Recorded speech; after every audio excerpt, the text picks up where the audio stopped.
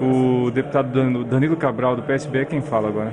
Participando de um ato semelhante como esse, com as, os gestores das escolas do Agreste do Vale do Caparibe e hoje, continuando a agenda de pactuação, o governador se reuniu com os gestores da Zona da Mata Norte. Essa é uma atividade muito importante que coloca o planejamento estratégico, a fixação de metas, de indicadores, de prazos para as coisas acontecerem, né, como uma questão estratégica na melhoria dos indicadores da educação do Estado de Pernambuco. Pernambuco, a partir da implantação desse modelo de gestão, da, do Pacto pela Educação, saiu da 21ª posição em educação pública, da qualidade da educação pública é, do Brasil de 2007, passando para o primeiro lugar no indicador de desenvolvimento da educação básica, o IDEB, no ano de 2014.